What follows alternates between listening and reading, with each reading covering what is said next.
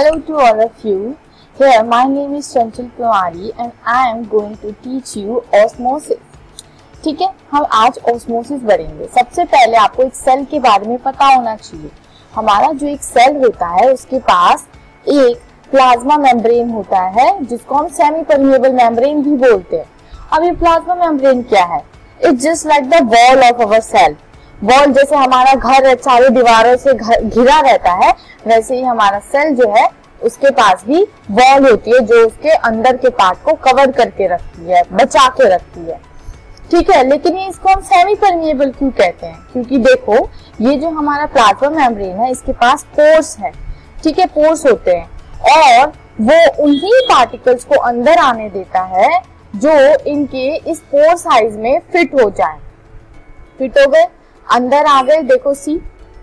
Here it comes yeah right जो बड़े pores जो बड़े होंगे, इन पोर्स के मुकाबले वो अंदर एंटर नहीं करेंगे। तो इस प्रॉपर्टी को हम लोग सेमी परमिएबल मेम्ब्रेन बोलते हैं। ठीक है? बड़े पार्टिकल्स भी अंदर आते हैं बट उसके लिए जो है अलग प्रॉपर्टी होती है, उसको हम लोग सेलेक्टिवली परमिएबिलिटी बोलते हैं। ये हम नेक्स्ट क्लास में देखेंगे। ठीक है? पहले अभी सेमी परमिएबल मेम्ब्रेन जानना ज़रूरी है। ठीक है? तो ये पार्टिकल्स नहीं आ पाएँगे और जो इनके पोर्स के साइज़ के इक्वल है, वही अंदर आ पाएँगे। ठीक है? तो अब हम देखते हैं आगे। इस डायग्राम को देखेंगे। पहले यहाँ लिख लेते हैं plasma membrane it is like the wall of the cell आप भी अपनी नोटबुक में लिख लीजिए। Like wall of our house okay in the house right right Now, come to the next point. अब हम लोग देखते हैं यहाँ पे ये डायग्राम यहाँ पे ऑस्मोसिस के आपने अब तक सिर्फ़ एक ही डेफिनेशन पढ़ी होगी. हम लोग यहाँ पे तीन डेफिनेशन पढ़ेंगे. डेफिनेशन क्या है? Movement of solvent particles first definition from high concentration ठीक है? टू लो कंसेंट्रेशन अब यहाँ पे एक एक चीज़ ध्यान रखनी है। Movement of solvent particles from high concentration to low concentration कैसे?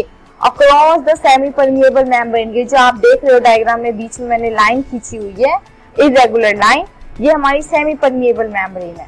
अब सॉल्वेंट क्या है? सोल्यूट क्या है? ये ज़्यादातर बच्चों को पता होगी, लेकिन जिसको नहीं पता है, वो देखें। सॉल्वेंट बेसिकली यहाँ पे हमें बोला है ऑस्मोसिस में मूवमेंट सॉल्वेंट की होती है। अब सॉल्वेंट क्या है? वो चीज़ जिसमें हम लोग चीज़ों को घोलते हैं, ठीक है? डिजोल्व करते हैं। जैसे पानी पानी में नमक घोला, पानी में चीनी घोला, पानी में हमने रुआवजा घोल दिया, ठीक है? ये सब चीज़ें हो गई। और हमारा जो सोल्यूट होता है, वो है जो हम लोग घोल रहे हैं।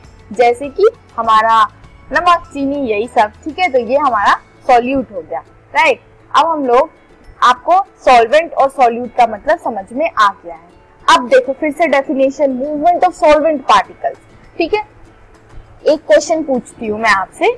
Let me erase this okay मैंने एक क्वेश्चन पूछा आपसे कि यहाँ पे मेरा मूवमेंट कहाँ से कहाँ होगा?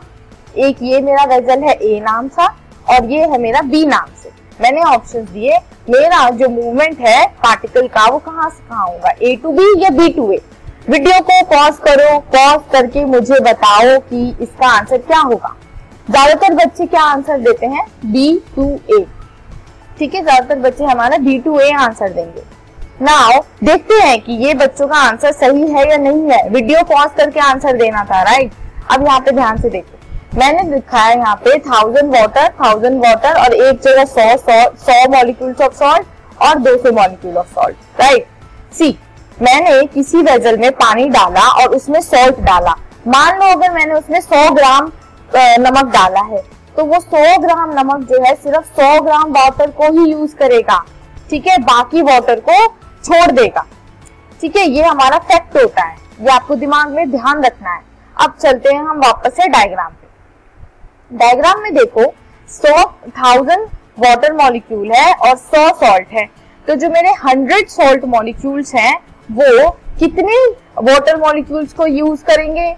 Pause your video and answer me yes you are correct it is 900 molecule जो है वो फ्री हो जाएँगे और हमारे 100 सिर्फ़ 100 वाटर मॉलिक्यूल जो है यूज़ होंगे। ठीक है? यूज़ मतलब कि वो 100 सॉल्ट जो है, वो 100 सॉल्ट मॉलिक्यूल जो है, वो हमारा घुल रहा है, वो सिर्फ़ हंड्रेड वाटर मॉलिक्यूल्स का ही यूज़ करेगा। और राइट तो यहाँ पे मेरे 900 फ्री मॉलिक्यूल्स बचे। वो again just pause the video and answer कि यहाँ पे हमारे कितने बचेंगे yeah you are correct it is our 800 free molecules बचेंगे। क्यों? क्योंकि हमारे 200 मॉलिक्यूल्स जो थे सॉल्ट के, उन्होंने सिर्फ़ 200 मॉलिक्यूल्स वाटर के यूज़ किए। अब, फिर से वीडियो पॉज करो। और अब मुझे बताओ, यहाँ पे कहाँ से कहाँ कंसेंट्रेशन मूवमेंट हो रही है? हायर कंसेंट्रेशन कहाँ है? लोअर कंसेंट्रेशन कहाँ है? क्योंकि यहाँ पे हमें फोकस करना था सॉल्वेंट पे। बच्चे देखते हैं 200 सॉल्ट है या हाई कंसेंट्रेशन है तो बी टू ए होगा। बट ऐसा नहीं है, यहाँ पे हमें ऑस्मोसिस में सोलवेंट के बारे में बताना है मतलब वाटर पार्टिकल कहाँ से कहाँ मूव करेगा। So yeah this is correct हमारा आंसर होगा A to B okay B to A नहीं होता, ठीक है? हमारे यहाँ पे ए टू बी कॉन्सेंट्रेशन जो है, उसकी वाटर फ्री वाटर मॉलिक्यूल्स का मूवमेंट होगा राइट तो अगर answer is A to B because A के पास ज़्यादा पानी का मॉलिक्यूल है फ्री और बी के पास कम, ठीक है? तो ज़्यादा से कम तक जाएगा। Now come to the second definition first definition check now second definition second definition ये कहता है मूवमेंट ऑफ़ अब मैं यहाँ पे ना द ब्लैंक्स खेलेंगे। द ब्लैंक्स डाल दूँगी और फिर उसके बाद डालेंगे कि क्या होगा इसके ऊपर। Movement of solvent particles from blank यहाँ पे पहले लिख लेते हैं across the semi permeable membrane क्योंकि सेमी परमेबल मेम्ब्रेन से ही तो अक्रॉस हो रहा है टिल इट रीचेज इक्विलिब्रियम अब इक्विलिब्रियम का मतलब काफ़ी बच्चों को नहीं पता होता है। चलो let discuss this word first then we will come to the options second paragraph second definition right now, here we go. Equilibrium. Equilibrium मतलब इक्वल तब तक मूवमेंट होगी मेरी ए टू बी जब तक ये दोनों बैलेंस ना हो जाए, जब तक ये दोनों में equal equal amount of water ना हो जाए। अब जैसे मैंने देखो यहाँ पे एक डायग्राम ड्रॉ करती हूँ, इससे समझने की कोशिश करना, ठीक है? लेट्स सी यहाँ पे मैंने 100 मॉलिक्यूल्स लिया वाटर का, ये सेमी परमेबल मेम्ब्रेन है, यहाँ ज़ीरो है। तो यहाँ से मेरे पार्टिकल तब तक मूव करेंगे जब तक ये 50 50 ना हो जाए। तो this is our equilibrium alright so till it reaches equilibrium सब कुछ सेम होगा नीचे के डेफिनेशन में बस हाई कंसंट्रेशन और लो कंसंट्रेशन वर्ड जो है इसकी जगह कुछ और वर्ड लिखा जाएगा। अब वो क्या है? देखेंगे। Movement of solid particles from blank to blank decrease uh, across the semi permeable membrane till it reaches its equilibrium all right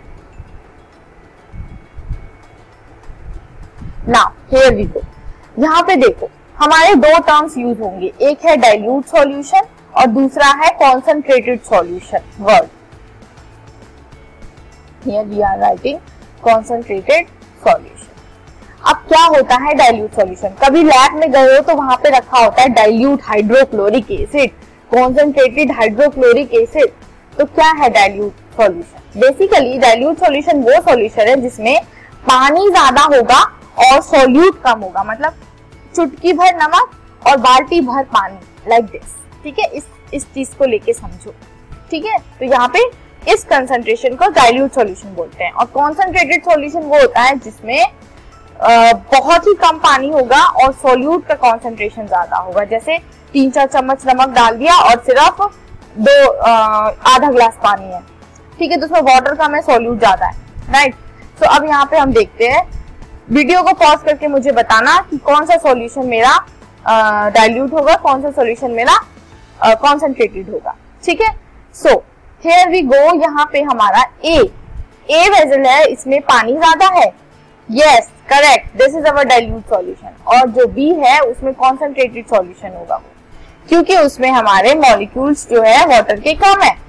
ठीक है? Now we come to the definition again यहाँ पे हम क्या लिखेंगे? Movement of solvent particles from dilute solution to the concentrated solution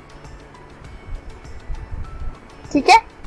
Yeah correct get it now we come to the second point अब हमारे दो डेफिनेशन uh, कंप्लीट हो गए. Now come to the third definition which is our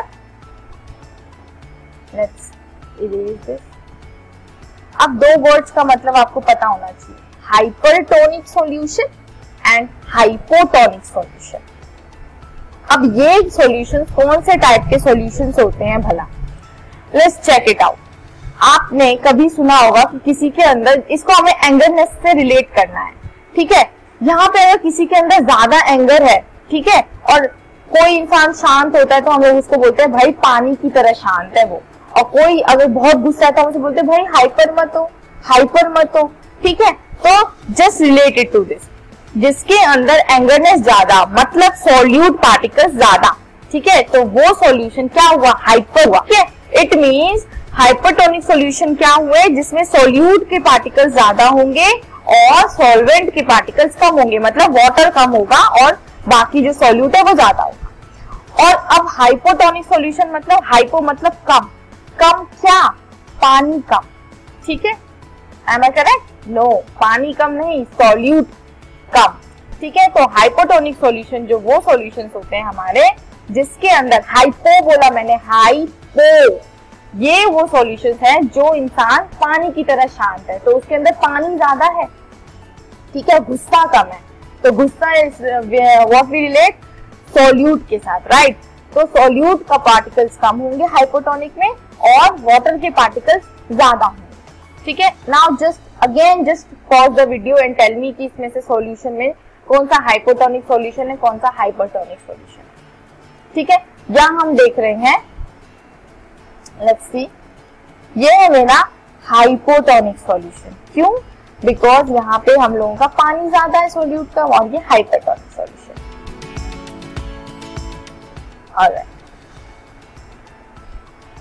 अब हमारा third definition क्या होगा? मैं इस ब्लैंक स्पेस को डाइल्यूट सॉल्यूशन और जहाँ कंसेंट्रेटेड सॉल्यूशन लिखा है, उसको मैं रब करके दूँगी।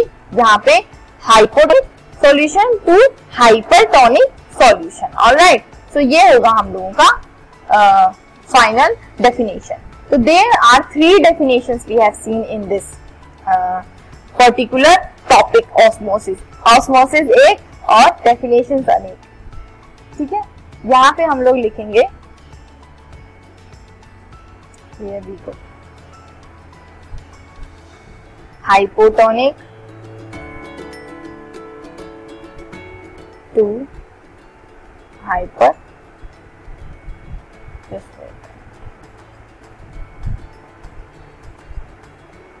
hypertonic solution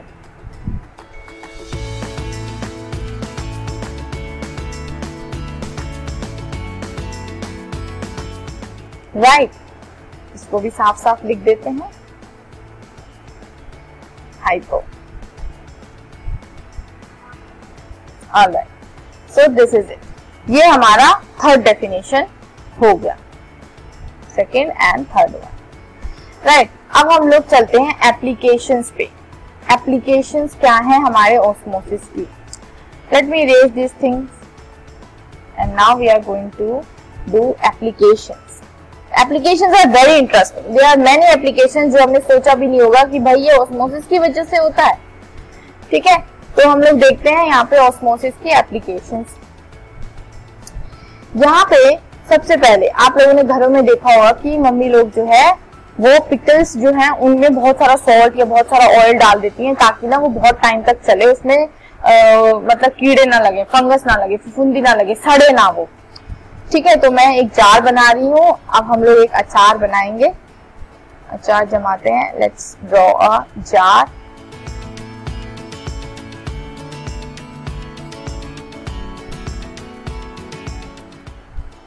और यहाँ मैंने डाला है pickle this is my pickle अचार राइट और इसके अंदर डालते हैं सॉल्ट बहुत सारा। दिस इज़ माई सॉल्ट अब देखो, यहाँ पे ध्यान से सुनो। मेरे यहाँ पे सोल्यूट कंसेंट्रेशन ज़्यादा है। तो ये कौन सा सोल्यूशन हुआ? हाइपरटोनिक क्योंकि यहाँ पे गुस्सा मतलब सोल्यूट ज़्यादा है, ठीक है? तो यहाँ पे पानी कम अब यहाँ पे मान लो कि कहीं से चलता चलता मेरा फंगस आ गया यहाँ पे fungi this is my fungi okay this is my fungi now ये मेरा जो फंगाई है हमें पता है कि जितने भी लिविंग ऑर्गेनिजम्स होते हैं, उनके अंदर वाटर होता ही होता है। वो बिना वाटर के लिविंग ऑर्गेनिज्म नहीं कहलाएँगे ठीक है? तो इसके अंदर वाटर का मॉलिक्यूल जो है वाटर कंसेंट्रेशन वो बहुत ज़्यादा है, ठीक है? तो ये क्या हुआ? हाइपोटोनिक सॉल्यूशन तो इसका मतलब मेरा यहाँ पे ऑस्मोसिस होता है। जब भी कोई फंगस आएगा मेरे जार में पिकल को खत्म करने, खाने तो वहाँ पे मेरा ऑस्मोसिस हो जाएगा।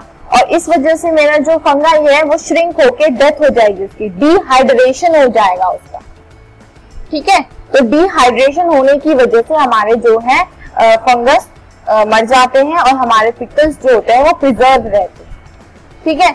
सेकेंड आता है हम लोगों का touch me not plant touch me not plant को देखा है? उसको छूते हैं तो वो सिकुड़ जाता है। उसको हम लोग फिर हाथ हटा लेते हैं तो वो दोबारा से सेम पोजीशन एक्वायर कर लेता है। तो ये भी हमारा ओस्मोसिस की वजह से होता है, ठीक है?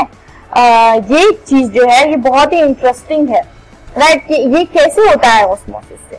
तो ये चीज़ हम लोग अब अपने नेक्स्ट क्लास में पढ़ेंगे, ठीक है? I hope you get it thank you so much